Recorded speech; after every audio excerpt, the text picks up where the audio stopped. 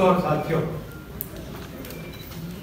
मैं थोड़ा सा लीक से हटके बात करूँगा और उम्मीद करता हूँ कि आप लोग भी कोशिश करेंगे कि एक नए अंदाज में हम आने वाले भविष्य को, एक मुस्तकबिल को कैसे संभाल सकते हैं, इसके बारे में हम लोग सोचना शुरू करें। नमस्ते प्रकाश जी। प्रकाश राज जी आ गए हमारे साथी बेंगलोर से। आप सब लोग मिलकर के यदि हम अपनी पूरी ताकत केवल पुरानी घटनाओं की चीर फाड़ में लगाएँगे पोस्टमार्टम में लगाएँगे तो बहुत कुछ हासिल नहीं होने वाला। जब हमने कॉन्स्टिट्यूशनल मॉडलिटी का एक शब्द इस्तेमाल किया आज के मुद्दे के लिए, और जिसकी बड़ी खूबसूरती के साथ चर्चा की, प्रोफेसर पूर्वानंद जी ने और कहा कि कॉन्स्टिट्यूशनल मॉरलिटी बिल्कुल साफ़ शब्दों में, हमारे प्रस्तावना में है संविधान के। और संविधान की प्रस्तावना जिसको हम प्रियम्बल कहते हैं, उसमें उन्होंने पूरी ताकत के साथ ज़ोर देकर के कहा है जस्टिस और जस्टिस को और पूरी तरह साफ़ करके कहा है social economic and political justice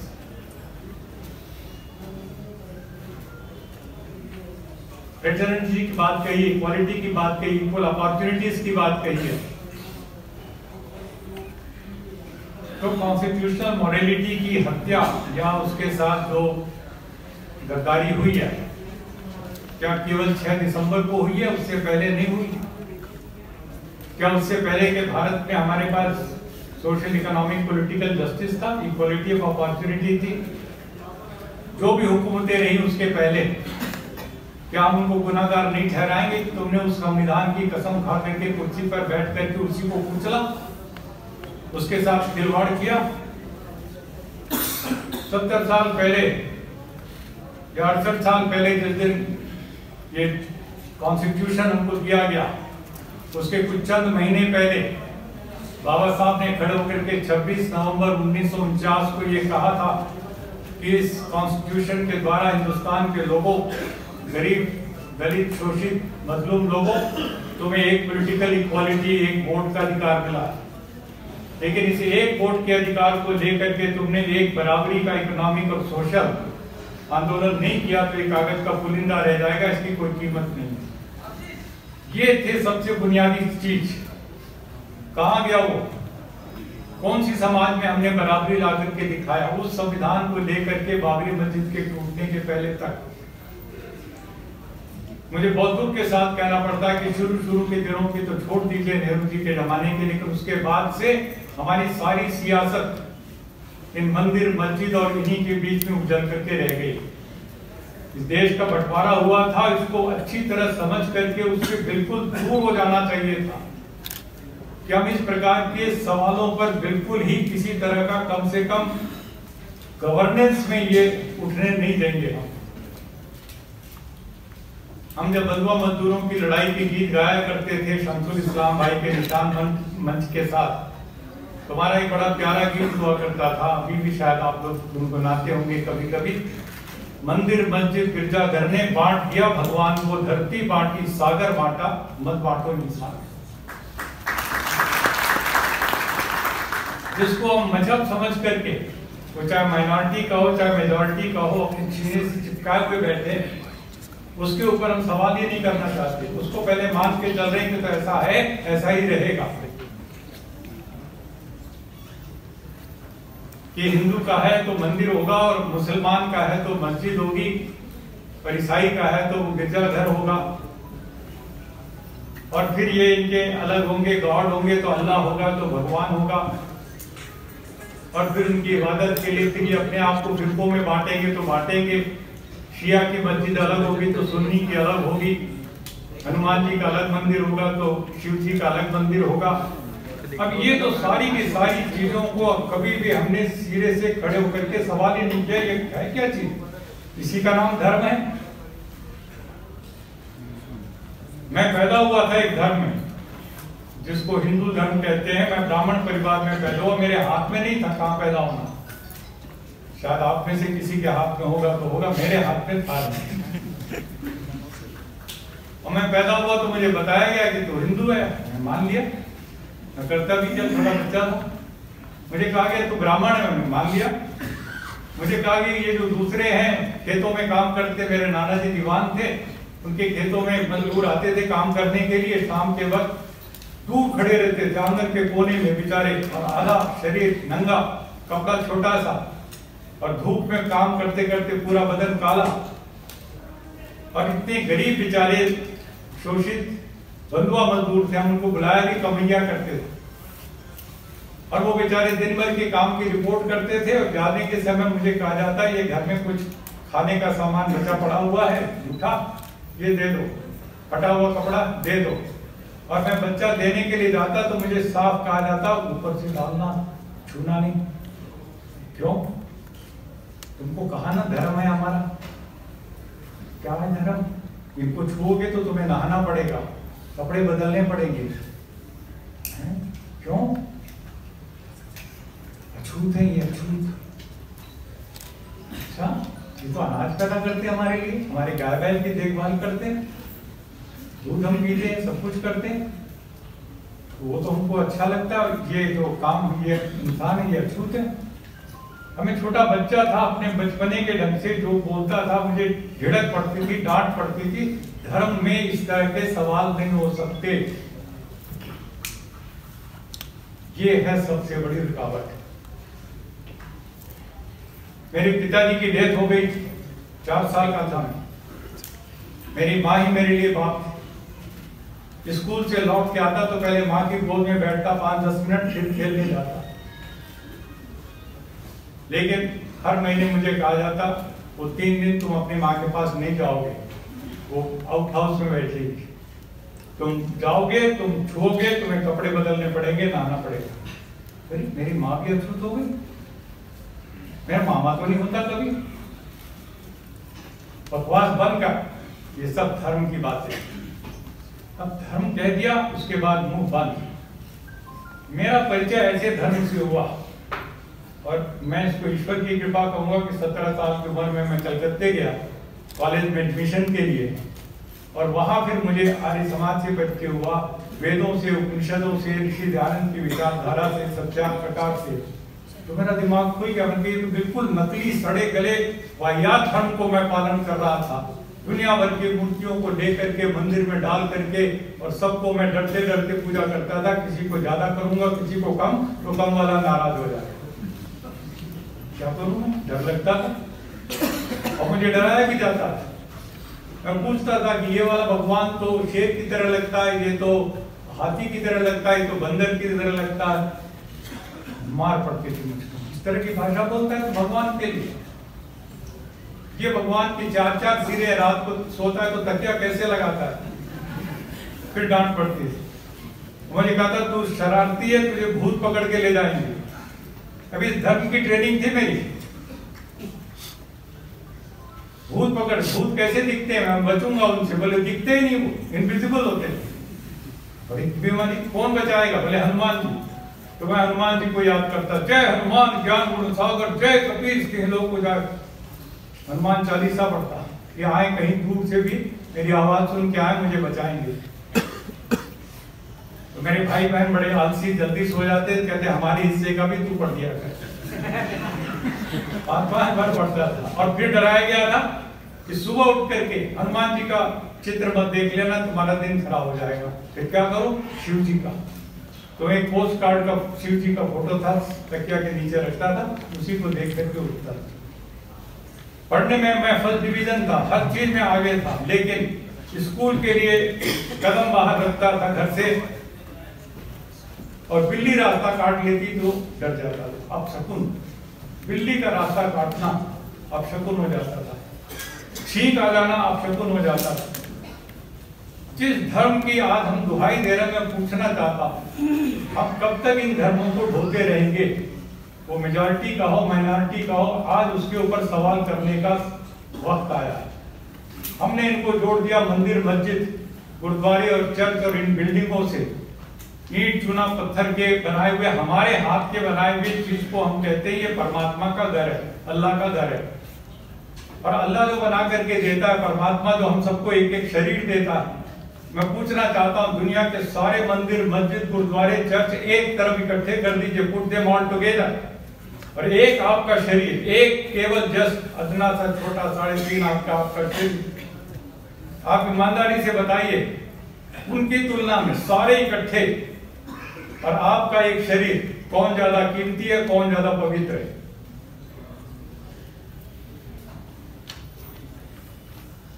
उस छोटे से मंदिर में आपने सिगरेट या बीड़ी पी करके टुकड़ा डाल दिया, वो अपवित्र हो जाएगा। और इस मंदिर में आप कट्टे के कट्टे बीड़ी पी जाइए, ये अपवित्र सिगरेट होता ही नहीं अपवित्र। उसमें आप शराब की बूंद डाल दीजिए तो मस्जिद अपवित्र हो जाएगा, दंगे हो जाएँगे। और इसके अंदर बोतल की बोतल चढ़ा लीजिए, ये अपवित्र होते ही क्या मज़ाक बना रखा है? इसी तरीके से सब चीज़ों को देख लीजिए आप। हमने बिल्कुल बिल्कुल जो धर्म का सही रास्ता होना चाहिए था, जो दिमाग पर तर्क पर आधारित होना चाहिए था, वैज्ञानिक चिंतन पर आधारित होना चाहिए था। हमारे कॉन्स्टिट्यूशन में केवल हमारा प्रियम्बल नहीं है। आर्टिकल 51 ए को मैं उतना ही इंपॉर्टेंट मानता हूँ। जिसमें एक एक नागरिक की ज़िम्मेदारी लगाई गई है। It's a fundamental duty of every Indian citizen to promote and develop scientific temper spirit of inquiry and reform इस ज़िम्मेदारी का एहसास हम किस दिन करेंगे? हम इन सड़े गले रीति रिवाजों को, जिसको मैं सुपरस्टिशन मॉन्गरिंग मेरेकल मॉन्गरिंग और पूरा का पूरा डोगमा मानता हूँ। Religion is nothing but dogma and ritualise religion organise religion institutionalise religion आज इनका वक्त नहीं है। आज इनकी कोई ज़रूरत नहीं है मानवता के लिए। और ये हमारी आज़ादी को छीनते हैं। कौन सी आज़ादी? अभी आज़ादी की बात कर रहे थे पूर्वानंद जी। क्या मुझे अपने धर्म की आज़ादी है? Do I have the real freedom of my religion freedom of religion कहा जाता है। कॉन्स्टिट्यूशन भी गारंटी कर रहा है। यूएन चार्टर भी गारंटी कर रहा है। मैं पूछना चाहता हूँ, किस बच्चे को आपने किस दिन आज़ादी दी, उसको अपना धर्म चुनने का? बच्चा पैदा हो गया तो आपने उसके इंडोक्ट्रिनेशन शुरू कर दिया, उसका माइंड बदलना शुरू कर दिया, उसको कहा, ये रिचुअल ऐसे भगवान, ये देवता, ऐसे फूल चढ़ाओ, ऐसे आरती करो, ये और मैं सवाल पूछूँ, बोले, नहीं, धर्म के मामले में सवाल नहीं पूछ सकते। वो हिंदू का बच्चा, हिंदू के घर में पैदा हो गया हिंदू बन गया, मुसलमान के घर हो गया, मुसलमान बन गया। और कहीं डिलीवरी होम में यदि इधर से उधर थोड़ा बदल दिया जाए, कोई नर्स इधर से उधर तो वो उसके उसमें पड़ जाएगा तो जिस धर्म को हम इतना बड़ा बुनियादी चीज़ लेके कह रहे हैं, मैं बार बार ये सवाल उठाता हूँ इंटरनेशनल फोरम पे मैंने उठाया। अभी टोरंटो भी मैं गया था, वहाँ पर बहुत बड़ी एक पार्लियामेंट ऑफ़ वर्ल्ड रिलीजन में मैंने ये सवाल उठाए कि religious freedom should mean inform choice जब तक मैं इन्फॉर्म चॉइस करने लायक नहीं बनता 18 साल की उम्र से पहले कोई भी इंसान इन्फॉर्म चॉइस करने लायक नहीं बनता। आप अपना विलेज का एक रिप्रेजेंटेटिव नहीं चुन सकते 18 साल से पहले। आप अपना जीवन साथी नहीं चुन सकते 18 साल से पहले। अब धर्म कैसे चुन लेते हैं? पाँच दिन का बच्चा, दस दिन का बच्चा, आपने पकड़ा दिया, उसको झुंझुना और कह दे, धर्म है तुम्हारा। कैसे हो गया वो? स्लेवरी हो सकती है, वो फ्रीडम ऑफ़ रिलीजन नहीं हो सकती। आप उसको 18 साल तक बड़ा होने दीजिए। यूनिवर्सल वैल्यूज़ दीजिए जो सब नैतिकता के सिद्धांत हैं। और उसके बाद 18 साल 20 साल 22 साल के बाद उसको आज़ादी दीजिए कि वो हिंदू बनना चाहता है, कि मुस्लिम, की सिख, की ईसाई, या कुछ भी नहीं बनना चाहता महज एक अच्छा इंसान बनना चाहता है, और वो आज़ादी उसको दीजिए, वो शायद ज़्यादा आज हमें आगे देखना है। वे फॉरवर्ड की तरफ़ जाना है। हम पिछड़े के सारे उस मवाद को ढोते रहेंगे, कुछ नहीं निकलने वाला। साइंटिफिक टेम्पर डेवलप करो, सवाल करो। Freedom of expression should include मैंने अपने भाषण में कहा टोरंटो के अपने कीनोट एड्रेस में। Something are completely non negotiable and that is freedom of expression gender equality non negotiable तुम्हारा धर्म, तुम्हारी किताब, तुम्हारी कोई चीज़ें, रीति रिवाज, कुछ भी कहते हैं। औरत और मर्द की बराबरी, बिल्कुल इसके अंदर हम कोई दखल नहीं देने देंगे किसी मज़हब को। यदि तुम्हारा मज़हब नहीं स्वीकार करता बहुत से लोग कहते नहीं हमारे मज़हब में तो तीन तलाक आप नहीं बंद बंद कर सकते तो कैसे होगा चाहे तीन तलाक का मामला हो या सबरीमला में औरतों के जाने का मामला होगा या कहीं का भी कोई मामला होगा हमें एक बात कहनी पड़ेगी कि जो जेंडर इक्वालिटी है वो नॉन निगोशिएबल है तुम्हारी किताब क्या है? तुम्हारे रिवाज क्या है? उनको तुम अपने पास रखो। आज के जमाने में हम औरत और मर्द की बराबरी के साथ कोई समझौता नहीं कर सकते। हम जन्मना जातिवाद को कभी भी स्वीकार नहीं कर सकते, चाहे तुम्हारे किसी धर्म में कुछ भी लिखा। जन्म के आधार पर एक बच्चे को ऊंच और एक को नीच कहना हम बिल्कुल स्वीकार नहीं कर सकते। बाहर में जाए तुम्हारा धर्म और तुम्हारे रीति और रिवाज, हमें नहीं मंजूर जब तक हमें डंके की चोट पर ये खड़े होकर के कास्टिज्म को खत्म नहीं करेंगे जेंडर इनक्वालिटी को खत्म नहीं करेंगे, ये संविधान बेचारा क्या करेगा? कागज़ का बुलिंदा। इनको यदि बिगाड़ने की किसी ने कोशिश की है तो तथा कथित धर्म के ठेकेदारों ने की है, और धर्म का ठेकेदार बिगाड़ता है तो राजनीतिक नेता के लालच आता है। क्योंकि इनके पागल इनके पागल जो अंधविश्वासी चेलों की जमात होती है, गुरमीत राम रहीम क्लेम करता था, मेरे छह करोड़ है। तो ये सारे चीफ मिनिस्टर उसके दरवाजे बैठे रहते थे ठीक है? आशाराम बाबू, मेरे पास यूट्यूब मौजूद है।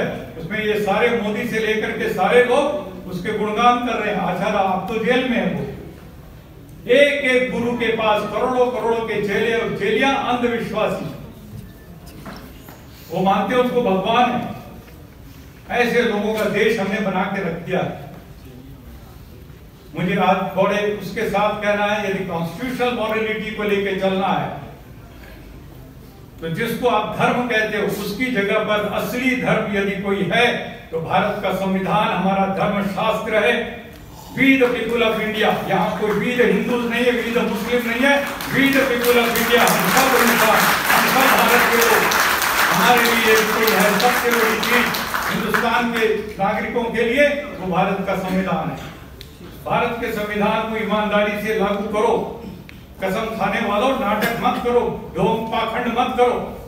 यदि तुमने एक साल भी उसके ऊपर ईमानदारी से अमल किया तो हिंदुस्तान की गरीबी मिट सकती है, बेरोजगारी मिट सकती है और शिक्षा के समान अवसर सबको मिल सकते हैं। लेकिन कोई इस बात की आवाज़ नहीं उठाता, सबके सब लगे हुए हैं। मैं हिंदू तू हिंदू, तू इतनी बार मंदिर जाएगा तो मैं इतनी बार मंदिर जाऊँगा। ये क्या खेल, क्या नाटक, क्या होगा इसी चीज़ में बांट करके रख दिया कि तू ऐसा हिंदू है तो मैं जनेऊधारी हिंदू हूँ तो कोई कह रहा नहीं और गोत्र वाला हिंदू।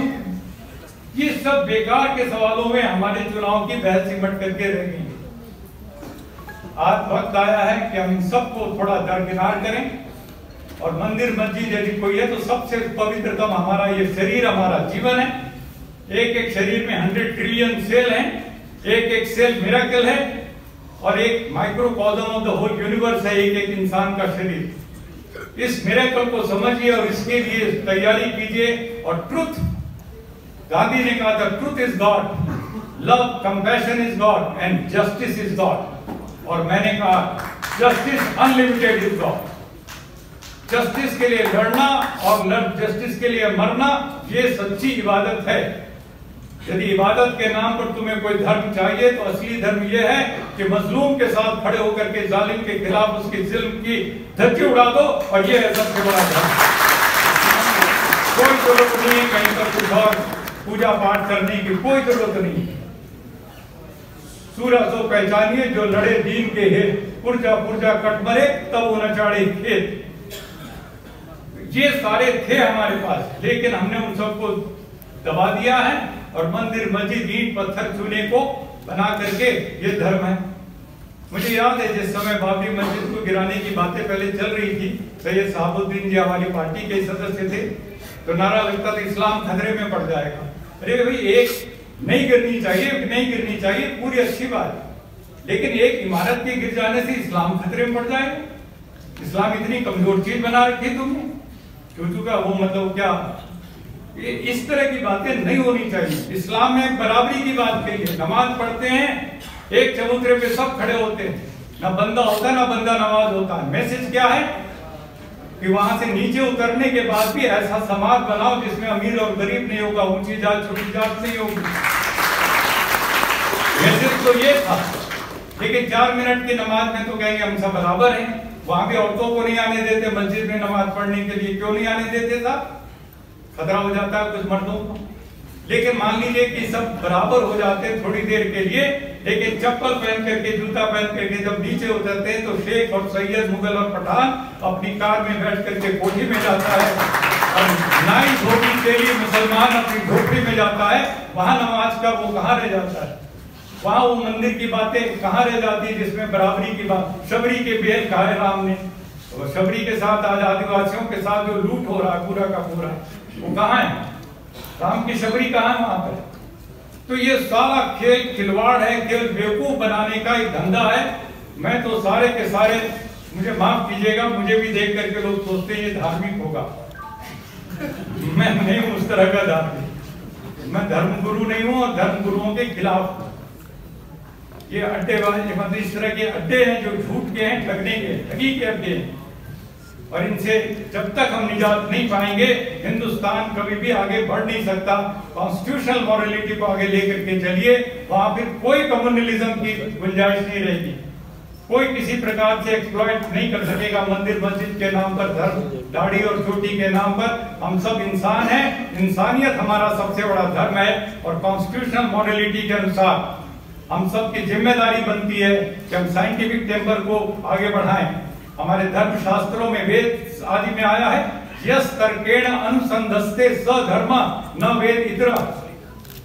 जिन चीज़ों को आप अपने दिमाग से तर्क के द्वारा सिद्ध कर सके, वही धर्म है जो तर्क की कसौटी पर नहीं है। रीजन और रैशनैलिटी की बुनियाद पर नहीं है, वो धर्म हो ही नहीं सकता। इसको लेकर के चलेंगे तो जाएगा बदलाव, और नहीं तो हम लोग ऐसे ही गीत गाते रहेंगे, रोते पीटते रहेंगे, कुछ बदलने वाला मुझे दिखता नहीं, शुक्रिया आप सबका। अगर अभी तक आपने चैनल को सब्सक्राइब नहीं किया है तो प्लीज़ सब्सक्राइब कीजिए और ताज़ा अपडेट पाने के लिए बेल आइकन को दबाना ना भूलें।